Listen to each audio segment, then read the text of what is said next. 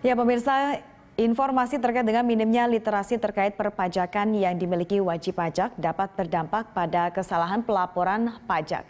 Komisi 11 DPR RI mendorong peningkatan sosialisasi tentang ketentuan umum perpajakan, baik melalui sosialisasi oleh Direktorat Jenderal Pajak maupun peningkatan wawasan publik oleh media massa.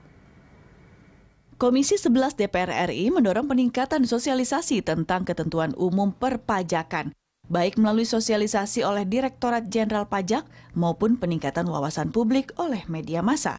Anggota Komisi 11 DPR RI Indah Kornia menyampaikan, minimnya literasi terkait perpajakan yang dimiliki wajib pajak dapat berdampak pada kesalahan pelaporan pajak.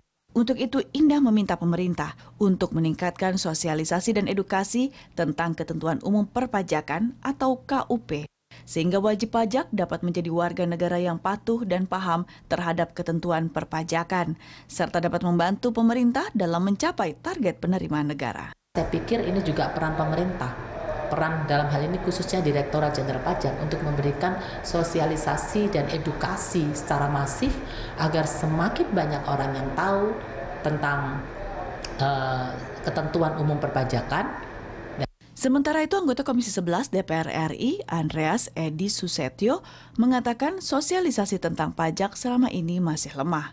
Menurutnya, sosialisasi perpajakan meningkat hanya saat pelaksanaan Undang-Undang Teks Amnesti atau pengampunan pajak.